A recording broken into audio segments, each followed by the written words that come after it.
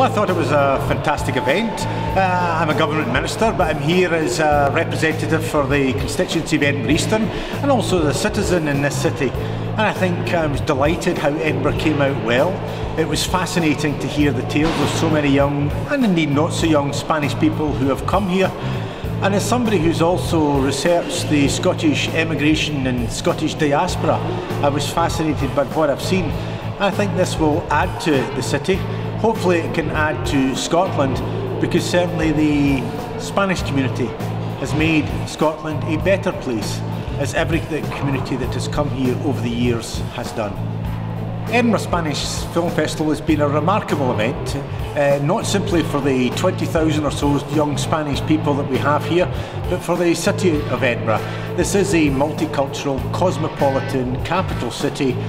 It's good and right and appropriate that we have an Edinburgh Spanish Film Festival.